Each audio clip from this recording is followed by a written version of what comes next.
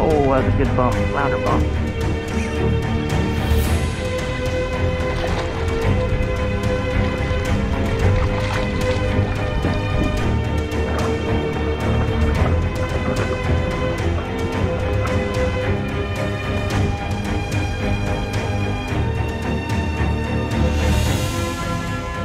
Hey, what's up, y'all? Just a reminder that they are closing flounder season again this year in Texas. Uh, they did the same thing last year, same same dates as last year, November 1st through December 14th. You can't keep any flounder. They're doing this during spawn, and they did it last year. And uh, this year, this uh, 2022 I have seen more and caught more flounder than ever. And the pictures I see on Facebook, you know, the flounder have been thick this year. So, you know, yeah, there's a there was a part of me that said, you know, that kind of sucks. I just got into flounder fishing pretty good, and now they're gonna close it.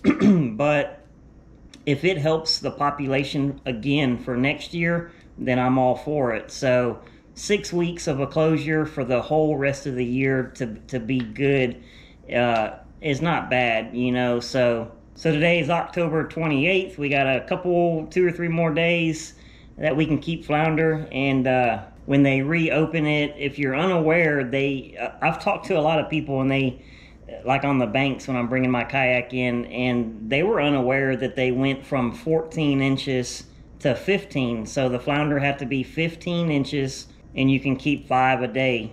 So uh, that was changed a year or two ago. So there's there's still some people that didn't know. So I just wanted to make y'all aware of the changes. So when they reopen it December 15th, you can keep five a day and they have to be 15 inches or bigger.